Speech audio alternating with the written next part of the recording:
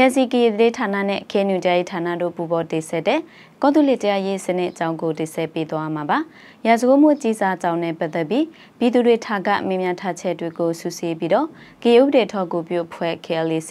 Legal Technical Coordinator ဆိုတူတူကိုမြင်မြန်ထားပါတယ်။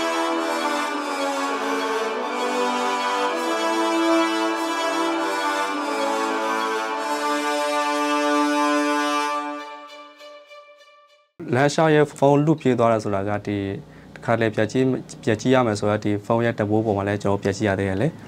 ဟိုဒါကဟိုပြက်ကြီးမယ်ဆိုတော့ဖုန်းလုကြတဲ့ကဒါဟိုလူရမှုဖြစ်ပေါ့အဲလူရမှုဖြစ်ပြီဆိုတော့ဒါဟိုရာဇဝတ်အကြီးစားတဲ့ကျွန်တော်မြောက်တယ်ဟိုဒါကဟိုရဲရေးပိုင်တယ်ပေါ့နော်ဒါဟိုရဲစီကိုကျွန်တော်တော့တိုင်လို့ရတယ်ဒါလူရမှုဖြစ်တဲ့အတွက်ကြောင့်သူ့ရဲ့ဟိုလူရမှုပုံမှန်ကဒီနှစ်လေးရှိပေါ့နော်အဲဒါသူ့ရဲ့ပုံမှန်ပေါ့နော်လူရမှုအတွက်ဒီအပြစ်ဒဏ်သူ့ရဲ့ပုံမှန်တည်တတ်ရှိသေးတယ် အပြစ်ဒဏ်ပုံမှန်ကနှစ်လေကို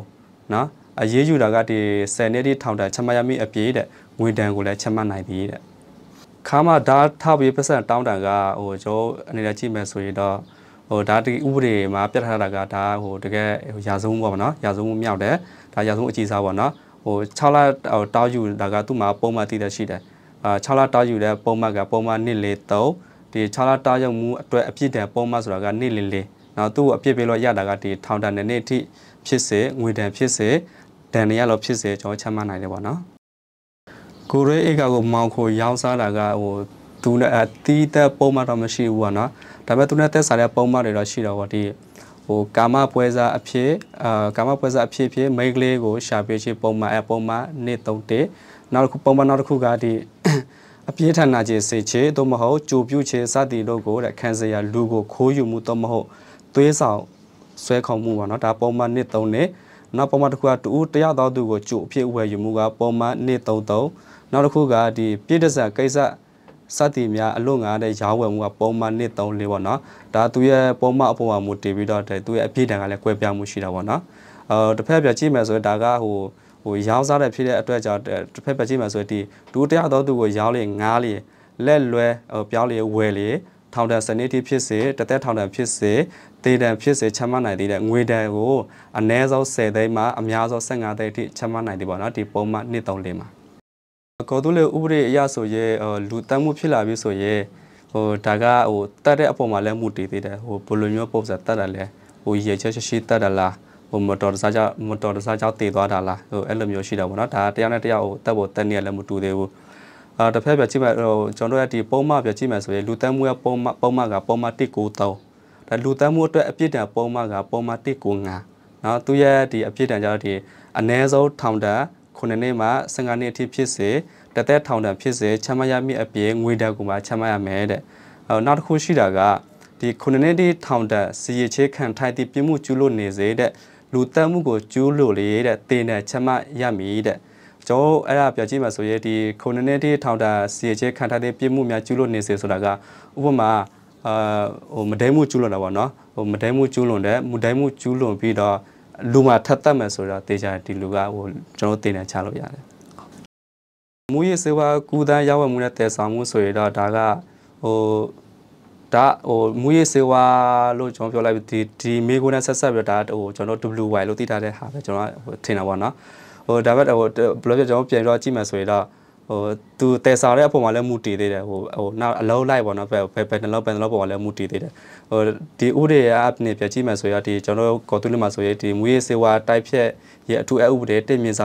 2024ဆိုတာရှိတယ်ပေါ့နော်ဟိုအဲ့ဒါနဲ့လည်းကျွန်တော်အရေးယူတယ်ဟိုဒါကဒီကူသားရောက်ရတဲ့ပမာဏအပေါ်မှာပေါ့အပေါ်မှာတော့မူတည်တာပေါ့ဟိုဆေးပြားတစ်ထောင်ပြားအထက်ဖန်စီရမိရလေတဲ့ဒီအ ਨੇ ဆုံး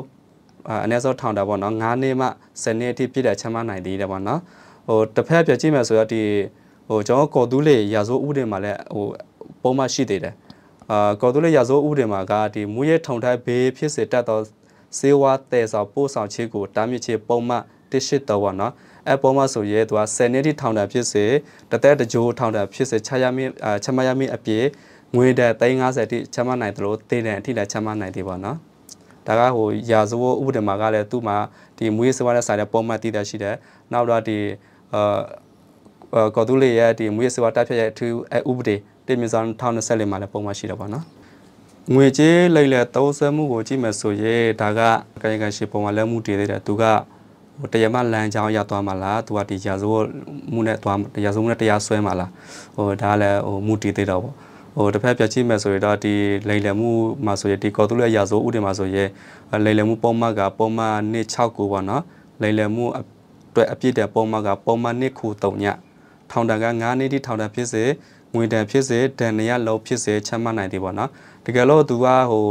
ရာဇဝတ်မှုလမ်းကြောင်းရမသွားဘဲတရားမလမ်းကြောင်းရသွားမယ်ဆိုရင်တော့